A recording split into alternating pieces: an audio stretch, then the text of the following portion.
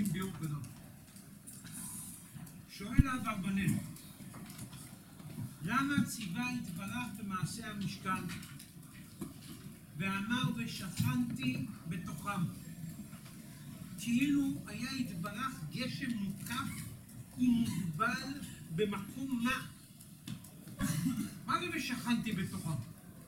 תבנו לי משכן ושם אני אהיה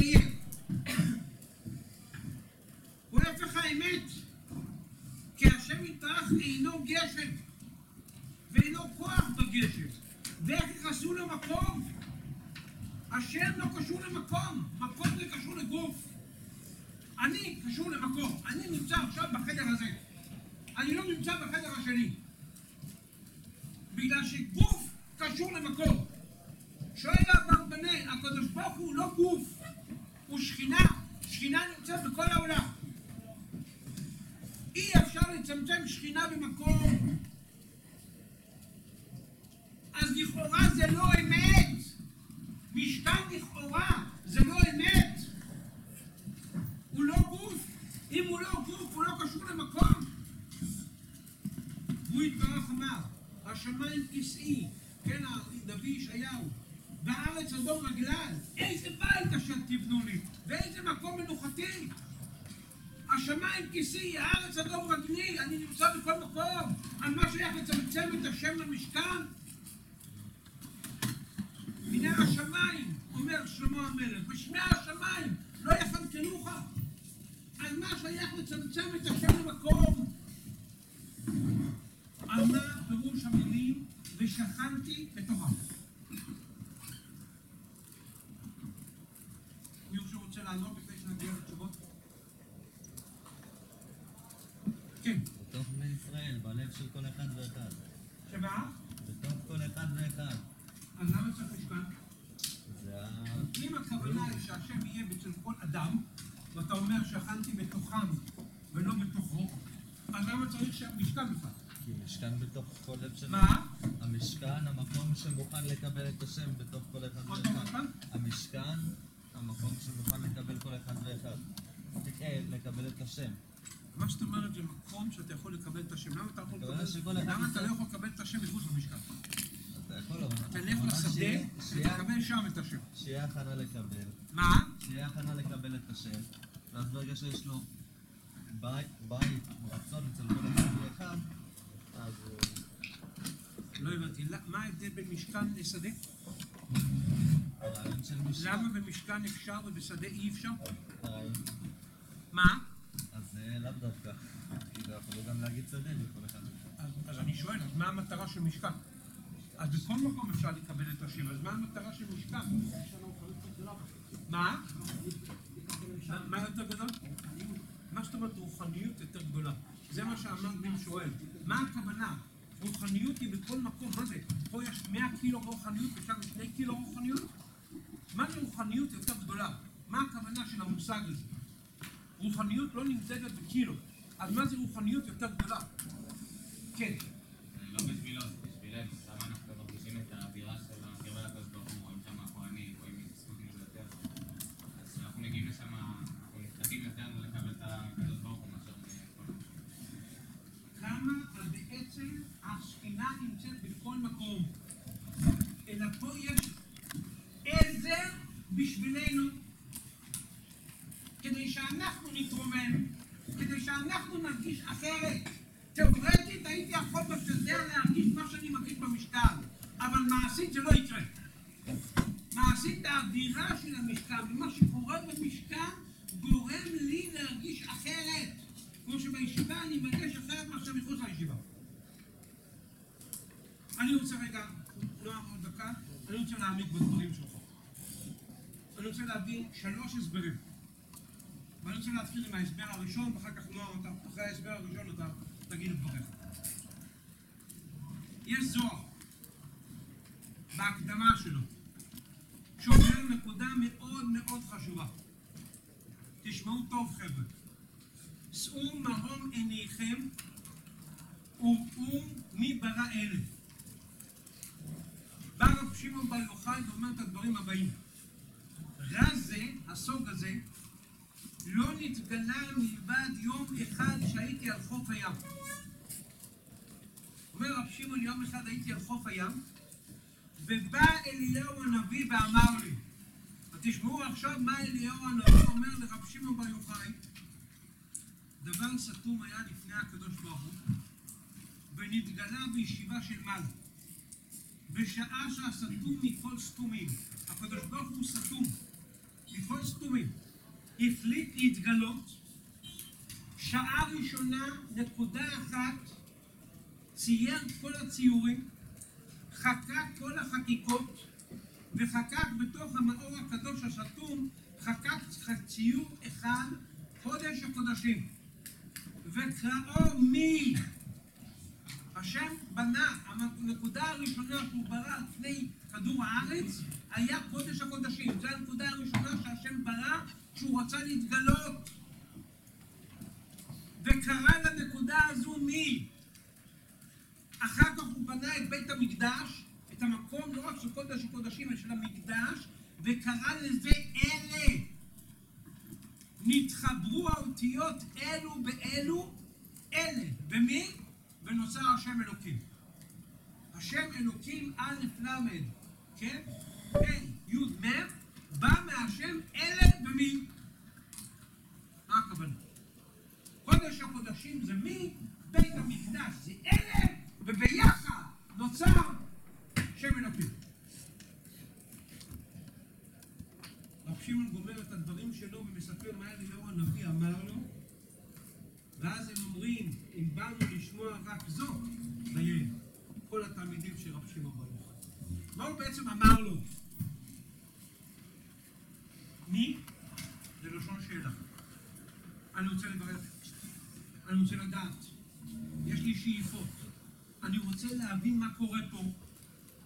אלה, זה דבר שאני יכול להצביע עליו, ואני יכול להגיד, אלה בית המקדש, קודש הקודשים, המקום הכי קדוש, הוא מי? כל בית המקדש הוא אלה. הרעיון הוא שאדם יגיע לבית המקדש, יראה קורבנות, יראה מזבח, יראה עשרה ניסים, יראה את כל האווירה, ודרך האלה, דרך מה שהוא רואה, הוא יתחיל לשאול שאלות. והוא ישאל את השאלות של מי? ודרך השאלות שהוא יברר, ודרך ההתבוננות, ודרך העומק, הוא יגיע לשם אלוקים. בגלל שאלוקים זה אלה ומי. אז הריכוזיות שנמצאת בבית המקדש, של כל הניסים, של העבודה של הכהנים והכל, היא כדי לגרום לאדם להתבוננות. ולשאול שאלות ולענות תשובות. והמהלך הזה, המהלך המחשבתי הזה של ההתבוננות, היא תגרום לו, דרך ההתגלות של השם, להגיע לבורא עולם. אז הקדוש ברוך הוא החליט להתגלות, כדי שנמצא אותו. ודרך בית המקדש, דרך המשכן, אנחנו נמצא את השם. על ידי זה שהאדם יגיע לשם, כמו שאמרת, אבל לא רק שיראה, אלא יראה, יחשוב, יתבונן, ישאל שאלות ויגיע. אומר הרמב"ם, הוא יראה קורבן על, על, על, על, על חטאת. על חטאת מביאים קורבן. והוא ישאל, רגע, למה הבן לא צריכה למות? ואז הוא יגיד לעצמו, אומר הרמב"ן, בעצם אני צריך למות. כי אני לא עושה את תפקידי בעולם. אם אני לא עושה את תפקידי בעולם, אין לי זכות קיום. אין לי זכות קיום אם אני לא עושה את תפקידי בעולם. אז בעצם הקורבן אני הייתי צריך למות. רק יש מושג כזה של תשובה. לכן הקורבן מת ולא אני מת. ממילא התשובה צריכה לגרום לי שאני עכשיו אשפר את מעשיי. אז המטרה הראשונה של המשכן היא לגרום לאדם להתבוננות ולהפנמה. על ידי שאלת שאלות, דרך מה שהוא רואה, מה שהוא רואה גורם לו לחשוב, ודרך שאלת השאלות הוא מברר דברים ומפנים. הייתי ממש משווה את זה למה שקורה פה בישיבה. לכן לא לחינם בית מדרש ובית כנסת נקראים מקדש מעט. אדם מגיע לישיבה, לומד חומר, מתבונן, וכל הלימוד בעסק התורה צריך לגרום לא לשאול שאלות על חייו, על שליחותו ועל על, על קשרו עם תורה, קשרו עם בורא עולם. ההגייה בתורה צריכה לגרום לאדם פה בישיבה להתבוננות. מה הקשר האמיתי שלי? האם השם הוא בתוכי? הוא לידי. מה הקשר שלי עם בורא עולם? מה הקשר שלי עם תורה? עם ארץ ישראל ועם עם ישראל. זה הבנייה האישית. דרך ההתבוננות. ודרך זה האדם יגיע לזה. ולכן ושכנתי בתוכם ולא שכנתי בתוכו. זה לא שהשם נמצא בבית המקדש במשכן ולא נמצא במקום אחר. הוא נמצא בכל מקום. אלא דרך זה שאתה תיכנס לריכוזיות הזו, זה יגרום לך שלך יהיה מקדש. ולך יהיה את הדבר הזה. ואתה תבנה בתוכך מקדש מעט. והתורה במקום להיות חיצונית, תהפך להיות חלק ממך. זה התהליך שצריך לקרות בין אדם שלא נמצא במקדש ואדם שנמצא במקדש. השאלה אם הוא כאן והתורה לידו, או שהוא בתורה נפחים את אחד. ודרך ההתבוננות ודרך ההפנמה, הוא מגיע לדבר הזה.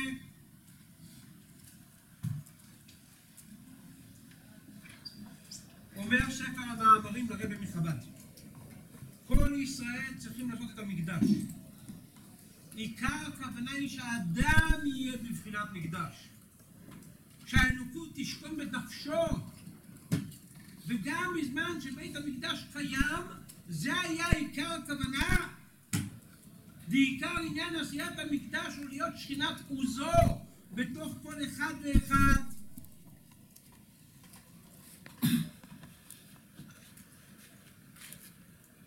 ממילא זה מובן. למה המצווה הזו ועשו לי מקדש ושכנתי בתוכם היא מצווה נצחית. לכאורה היא לא מצווה נצחית, בגלות היא לא קיימת. כשעם ישראל נמצא בגלות, אי אפשר לקיים את המצווה הזו של ושכנתי בתוכם, של לבנות בית מקדש, לבנות בית מקדש עם ישראל צריך להיות בארץ. אבל מצוות התורה הן כולן מצוות נצחיות.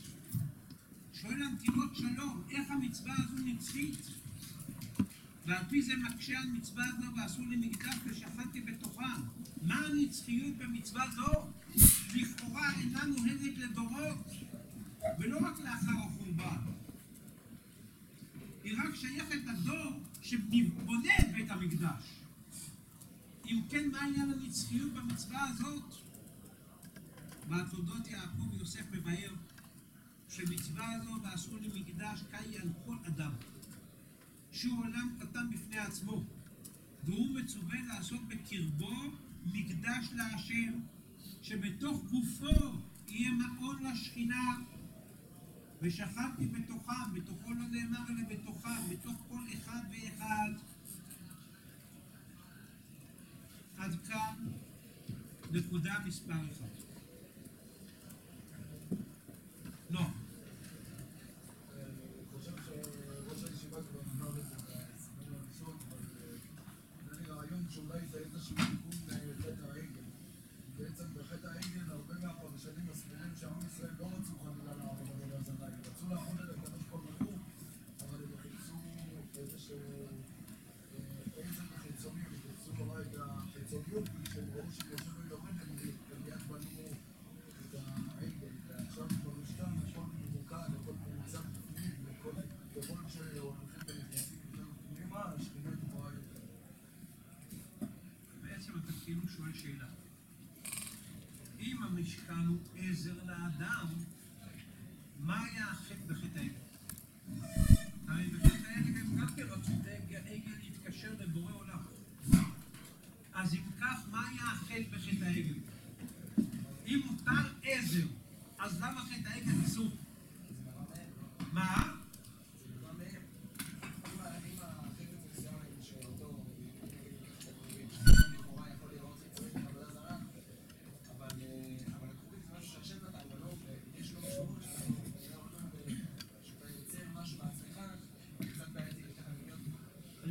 שני הסברים. א', הנקודה שלך.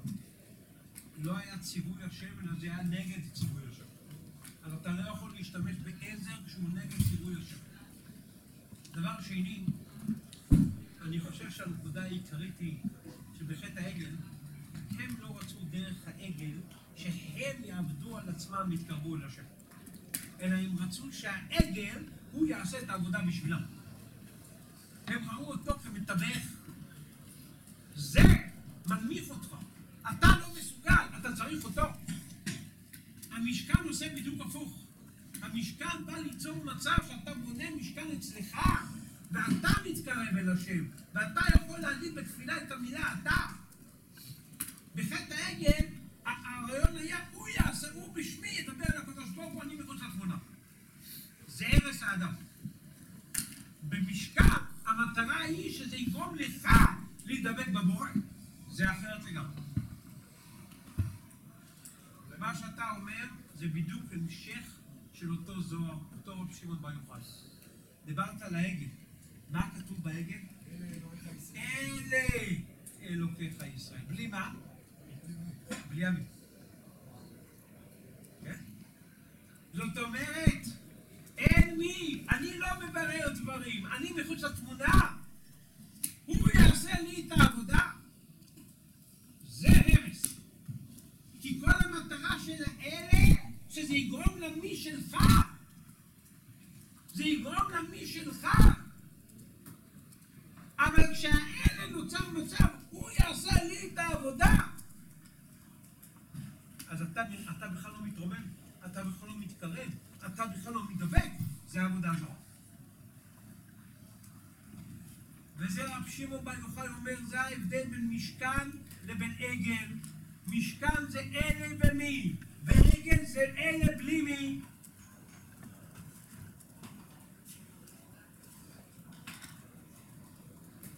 אם נלך שלב נוסף, לגבי מה שאמרת נועם, לגבי העגל, אומר הנציב שזה הסיבה למה משה רבינו שובר את הלוחות. למה משה רבינו שובר את הלוחות? שאלתי קודם, פגשתי את החבר'ה שבאו לפה מיד בחיפה. אמרתי להם, זה חילול השם. אם אתה היית נכנס למקום חס ושלום, פתאום אתה רואה דבר נורא ואיום. היית קורע ספר תורה? זה חילול השם לשבור לוחות. אלא מסביר הנציב שמשה רבינו הבין שהסיבה שהם אומרים אלה ובלי מי זה בגלל שכל הזמן הם פסיביים.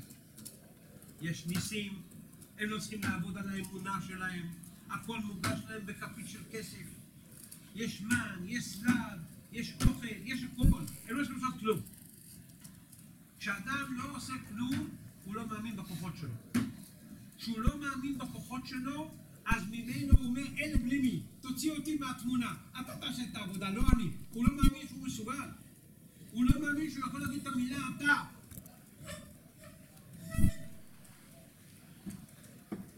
היה נוצרי שהתגייר ונהיה יהודי ולמד במרכז הרבה מאוד שנים. שאלו אותו מה גרם לך, הוא היה, אני חושב, אה, סגן, סגן בי, ביסוף בכנסייה. שאלו אותו מה גרם לך להתנצר, הוא אמר שיהדות זה, הדת היחידה שקוראת לקדוש ברוך הוא אתה. בנצרות, הביסוף עושה את כל העבודה בשביל כולם, אבל אתה לא עושה שום דבר. הדת היחידה שאתה יכול לקרוא לבורא עולם, ברוך אתה השם, זה יהדות. כי היא מאמינה בגלות האדם, ובקשר הישיר בין האדם לבורא עולם, וכל העזרים האלה לא באים להיות במקום, אלא באים להעצים את הקשר. אז משה רבנו הבין שהסיבה שעם ישראל לא מאמין בכוחות שלו וזקוק למתווך, זה בגלל שהוא פסיבי כל הזמן. וזה מה שלוחות ראשונות סימלו. הכל הגיע משמיים. גם הלוחות, גם הכתב, הכל היה משמיים. לכן הוא שבר אותו, כדי להתחיל פה הנהגה חדשה. הנהגה של פסול אחד. הנהגה של משה רבינו. הוא פוסל את הלוחות, איך קורא לזה הנציב? השתתפות עמל האדם בסייעתא דשמיא. אבל האדם יוצר והאדם עושה, ואז האדם אומר מי ואלה. והוא לוקח אחריות על עצמו.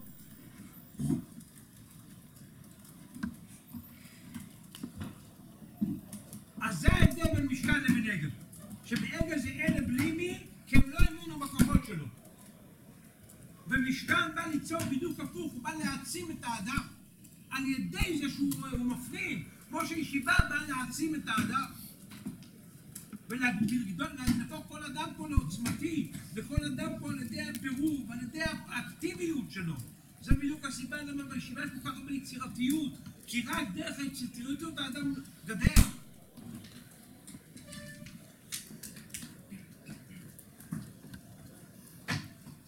כן. דיברנו השבוע על תפילה. שימו לב לקטע של הרב הירש שממשיך את מה שאנחנו אומרים, למה בתי כנסיות הם מקדש מעט. אומר הרב הירש, מאיפה באה המילה תפילה? מאיזה שורש? הפועל התפלל, אשר ממנו נגזר השם תפילה, מובנו על פי המקור לבחון את עצמו ולשפוט את עצמו. שורש מלל, מ"ל למד, היא לא מלשון משפט. בעניין מתפעל להתייחד בעברית נאות הפעולה שאדם עושה כלפי עצמו, כמו ונתן בפלילים. משמעות המילה היא כי המתפלל יוצא במסגרת החיים הרגילים, משתמט מהם, על מנת לחרוץ משפט אמת וצדק על עצמו, על אודות האני שלו, על אודות כל ההתייחסות שלו בנוגע להשם, בנוגע לעולם, למען יוכל להתמסר מחדש אל חיי המעשה. מטרתה של התפילה היא להמריץ את המתפלל ליישם את עולם הערכים אותו הוא מזכיר בתפילתו במסגרת חיי המעשה אליהם הוא ייכנס לאחר מכן. אז מה זה תפילה? תפילה זה מלשון ונתן בפלילים. תפילה זה מלשון שאתה שופט את עצמך. אתה מתבונן על עצמך. זה בדיוק כמו שדיברנו על המשכן, שאדם צריך להיכנס למשכן ולשפוט את עצמו, ולבחון את עצמו, ולשאול שאלות. בדיוק אותו דבר בתפילה. לכן תפילה זה מלשון פלל. ואדם צריך לשאול את עצמו, האם הערכים שאני מאמין בהם, אני באמת מביא אותם לחיי המעשה? האם יש פער בין מה שאני חי לאיפה שאני צריך להיות? למה שאני מאמין? האם יש פער בין מה שאני עושה למה שאני צריך לעשות? ואיך אני סוגר את הפער הזה? זה הנקודה העיקרית של תפילה. זה ונתן בפלילים, זה אדם יוצא מעצמו, איך הרב הירש מגדיר את זה? הוא יוצא מעצמו רגע מחיי המעשה, הוא בשקט. הוא עכשיו מהרהר, בוחן את עצמו, שופט את עצמו. זוכר את האידיאלים שמעסיקים אותו, ובודק איך הוא מכניס את האידיאלים האלו לחיי המעשה. מתי האדם מרגיש שלם? מתי האדם מרגיש שמח? שאין פער בין מה שהוא מאמין למה שהוא עושה. לא רק שאין אחד בפה ואחד בלב, אלא אחד בלב ואחד במעשה, אלא שיש הרמוניה ביניהם, אין פער ביניהם. כשאני באמת עושה את מה שאני מאמין, אז אני מרגיש שלם ושמח. והתפילה באה לבדוק את הנקודה הזאת, אומר הרב הירש. האם אתה באמת עושה בחיי המעשה את מה שאתה מאמין בו? ולכן זה פלילי, ולכן אתה שופט את עצמך. איך אני עושה את זה, והאם אני עושה את זה, ואיך אני עושה את זה. ולכן אם אנחנו מדברים על התבוננות, כל התפילה היא התבוננות. לכן בית כנסת הוא מקדש מעט. לכן ישיבה היא מקדש מעט. הכל זה התבוננות.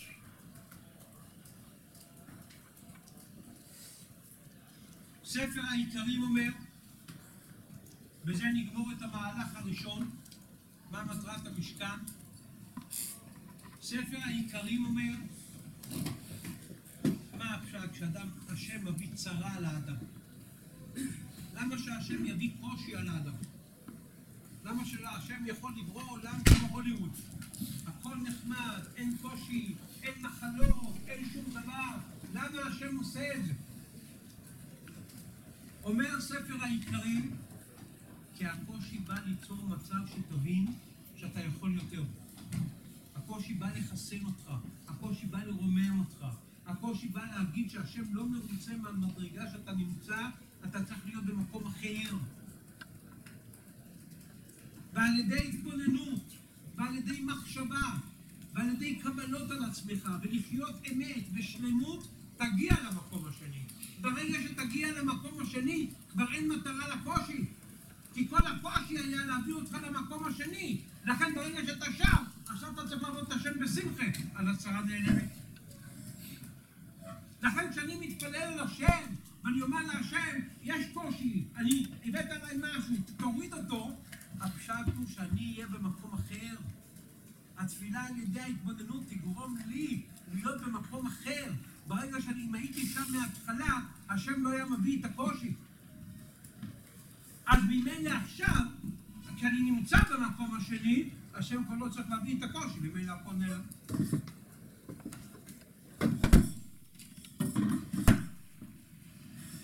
אומר ספר העיקרים, מה שהביא אנשים לפקפק בתועלת התפילה. אם נגזר, אם השם רוצה לעשות לי טוב, אין צורך בתפילה, הוא יעשה לי טוב גם בלי תפילה.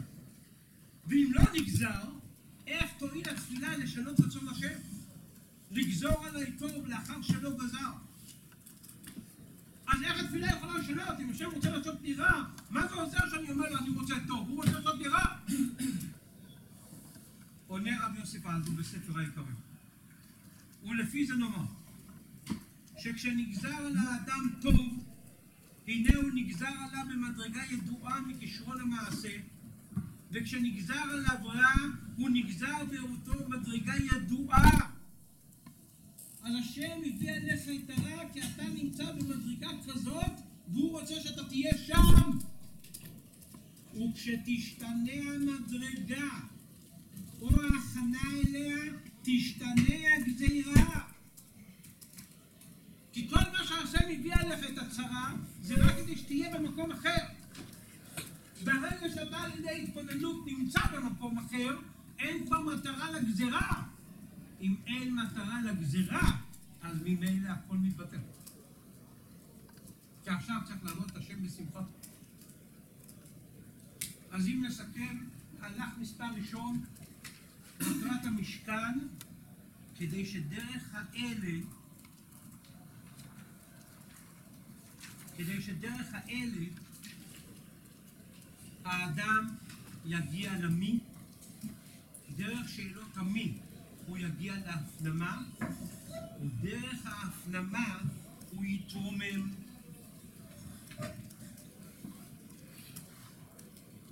שימו לב, אני רואה כבר כמעט תם מלהגיד את ההסברים האחרים, אבל שימו לב, זה הפשט השנייה, יצחק שנייה אחת, זה הפשט בכתוב, למה כתוב ויקחו לי תרומה ולא וייתנו לי תרומה.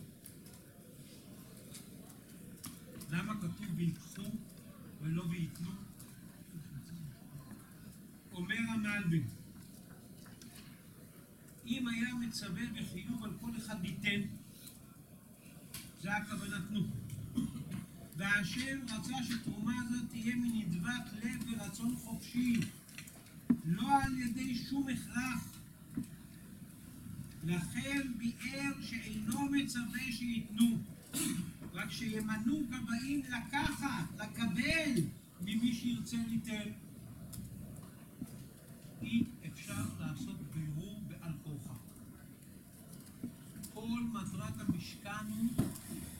שהתהליך הזה יבוא, אתה צריך להגיע עם רצון לברר זה הכל מתחיל ממך. אדם שיבוא למשכן ויהיה אטום, וכל מה שמעסיק אותו זה הריגושים וההנאות של עולם הזה, והוא בכלל לא בא לברר, הוא ייכנס למקדש וכל מה שהוא יעשה זה ייקח תמונות. אבל הוא אף פעם לא יתרומם מזה, ולכן בסופו של דבר בית המקדש נהרס, כי המטרה העיקרית של בית המקדש לא, לא קוימה. מקדש ראשון, מקדש שני, עבודה זרה, שנאת חינם. אבל אנשים הגיעו אטומים. ברגע שהם הגיעו אטומים המהלך לא יקרה. המהלך נובע, אני רוצה, רק אני עכשיו זקוק לעזר, אבל זה בא ממני. לכן השם לא מצווה על המשכן. כי אם השם יצווה, המשכן יהיה. כולם ייתנו. אבל אם זה לא בא מנדבת לב, אם זה לא שם את האדם כפועל, כעושה, כמברר, אלא כמצווה, כמי שכפאו שד, תהליך נפשי לעולם לא קורה מכורח. ופה אנחנו מדברים על תהליך נפשי, לכן זה צריך לבוא מרצון. לכן אומר המלבים, זה הכוונה, ויקחו לי תרומה. הגבאים ייקחו למי שרוצה לתת, מי שלא רוצה לתת שלא ייתן.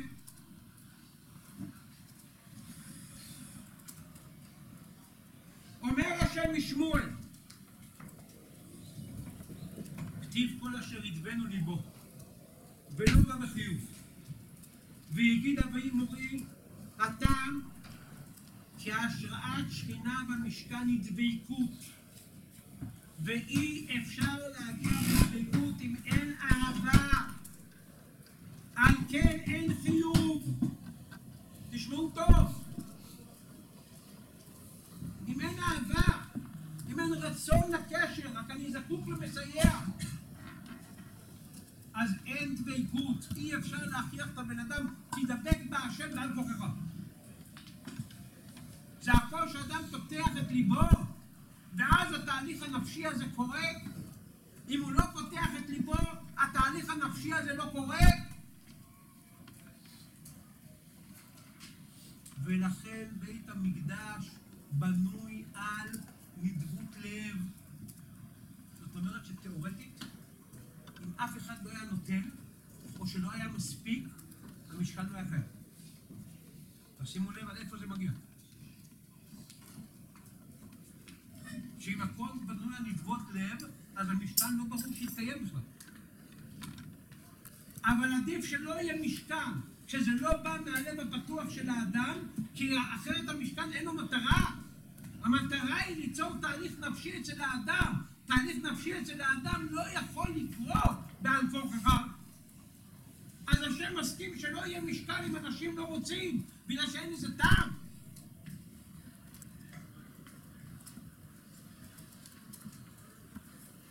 אנחנו מדברים על כמה דברים חשובים מאוד. כן, יצחק, ואחר כך אני מבקש לסכם את הדברים.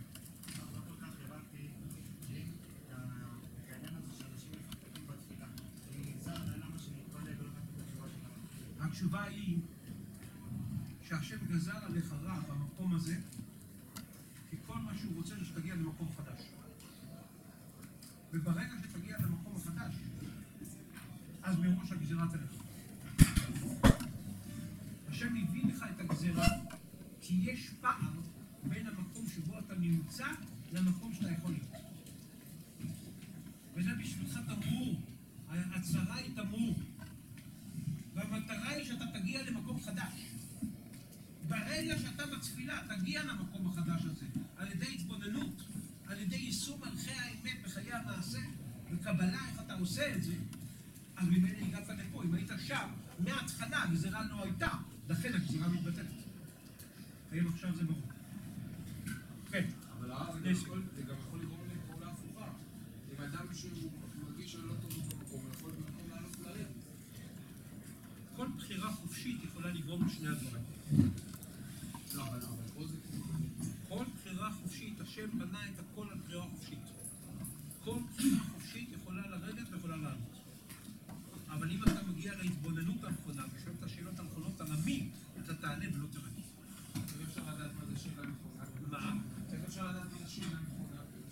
שבונה אותך. שאלות אמיתיות שאתה רוצה להתקדם. כל שאלה שאתה רוצה להתקדם היא שאלה שבונה אותך. אני מבקש לסכם את הדברים. בעזרת השם, נמצא את הזמן לדבר על המהלכים הנוספים.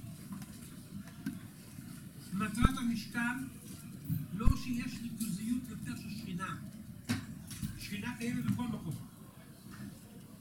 אלא יש יותר ריכוזיות של האלה במשכן מאשר בשדה. יש יותר דברים שגורמים לך לחשוב. וברגע שאתה רואה את האלה, אתה צריך להפעיל את המי. והקדוש ברוך הוא כשברא עולם, קודש קודשים קרא מי, ובית המקדש קרא אלה. דרך האלה והמי נוצר השם אלוקים. ולכן הדבר שיכול להרחיק הכי הרבה את האדם מקרבה להשם, זה אדם שהוא אדיש. הוא יכול לראות את כל העולם והוא לא ישאל שום שאלה. אדישות היא צנינות. אדישות זה עמלק. נדבר על זה בשבת זכור. אבל אדישות זה עמלק. הכל סופק, הכל לא מובן, שום דבר אליי. אבל מי שלא אדיש, מי שנודב את ליבו, מי שרוצה רק לא יודע איך, אז הוא לוקח את בית המקדש כעזר, ואת כל, כל האלה שהוא רואה, ואת כל הקורבן חטא שמת במקומו וכולי, גורם לו לחשיבה, והחשיבה גורמת לו להתחבר לאלוקים, לכן אלה ומי מביאים את אלוקים. בית המקדש נהרס כשאנשים נכנסו לבית המקדש והתהליך הנפשי הזה לא קרה. משם הלכנו לחטא העגל. והסברנו שבחטא העגל בני ישראל מחפשים עזר שיהיה תחליף להם, ולא עזר שירומם אותם. וזה היה החטא של חטא העגל, שזה תחליף במקום לרומם. ולכן שם הם אומרים אלה אלוקיך ישראל, ולא אלא במי. רבינו שובר את הלוחות. כי משה רבינו מבין שצריך דרך חדשה של שאלות, של דרישות, של אקטיביות. של האלה פלוס מי. משם הגענו לתפילה, שתפילה היא מלשון פלל. תשפוט את עצמך, תשפוט את עצמך זה בעצם תשאל שאלות. שופט שואל שאלות. וזה מטרת התפילה, לשאול שאלות. האם באמת אני מגיע למקום הנכון? ומשם הגענו לצרות שהשם מביא בעולם הזה. שמטרת הצרות היא להגיד לאדם, אתה נמצא פה, אתה צריך להיות שם. וכשאדם יגיע מפה לשם, אז הצרה תיעלם, כי זו כל מטרתה. ממילא כשהוא יגיע לשם, הוא צריך לעבוד את השם בשמחה, אז הצרה תיעלם.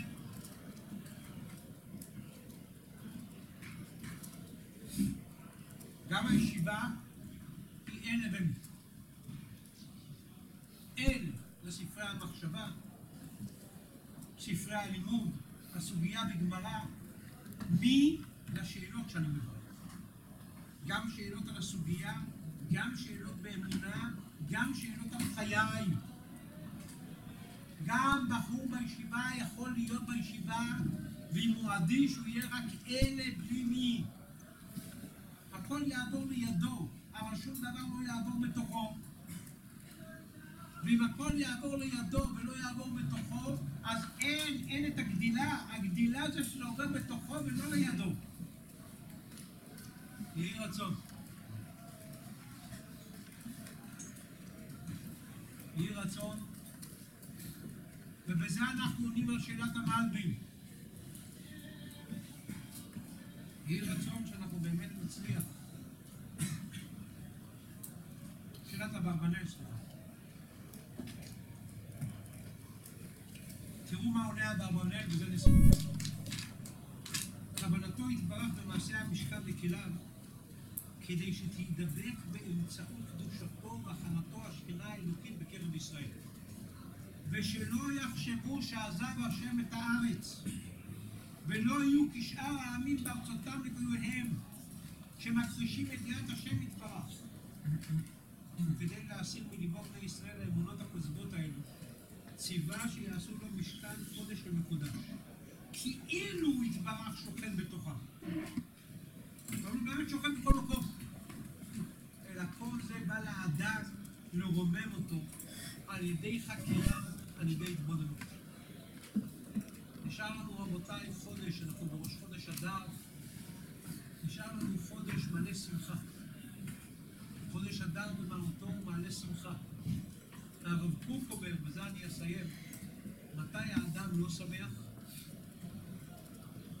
כשהוא לא שואל שאלות ויש כוח בתוכו שלא בא לידי תפקוד. כשאדם מדכא כוח שנמצא בו, אז הוא לא שמח.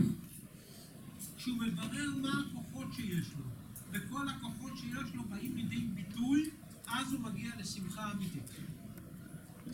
יהי רצון שאנחנו נמשיך הלאה בעבודת הקודש של הבירורים, של ההפנמה, של לשאול שאלות ולברר בירורים. ועל ידי זה נגיע אנחנו בעזרת השם בחודש הזה לשמחה אדירה ולדבקות בבורא, אמן כן יהי רצון.